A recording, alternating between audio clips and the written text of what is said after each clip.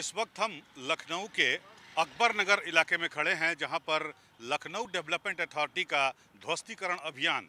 एक अवैध मोहल्ला पूरा का पूरी बस्ती अकबर नगर यहाँ पर बसी हुई थी। आप देख सकते हैं, मेरे नीचे यहाँ पर ये कुकरैल नदी, पहले नदी के नाम से मशहूर थी, आजकल ये नाला हो गई है। और इस कुकरैल नदी के किनारे जो अकबर नगर नाम का एक पूरा का पूरा अवैध बस्ती बसी हुई थी, जिसमें न सिर्फ़ आवासीय भवन थे, बल्कि कमर्शियल भवन भी थे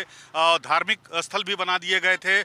पूरे इस इलाके को अकबर नगर प्रथम और अकबर नगर द्वितीय को यहाँ पर जितने भी बिल्डिंग बने थे, उनको एलडीए ने जमींदोज कर दिया है। आप देख सकते हैं कि ये बिल्कुल अब समतल हो गया है और यहाँ पर अब मलबा उठाने का काम किया जाएगा।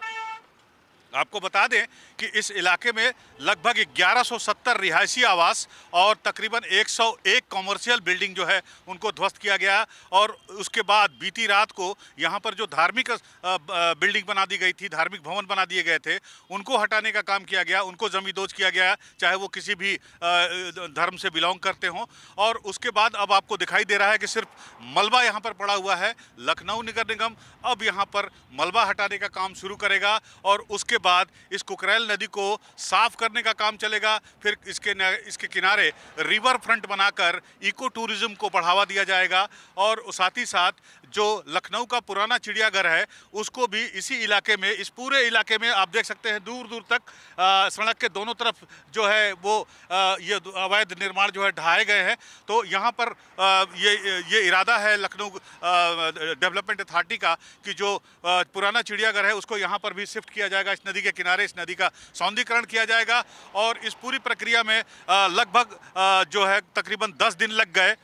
और अब जो है इसको इसके सौंदर्यकरण का काम शुरू किया जाएगा। बहरहाल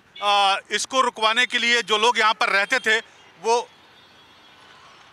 कई जगह गए। पहले हाई कोर्ट गए, उसके बाद सुप्रीम कोर्ट गए, लेकिन कहीं पर उनकी सुनवाई नहीं हुई और सुप्रीम कोर्ट से हरी झंडी मिलने के बाद वो जो है, इस, इसको ढहाने का काम किया गया।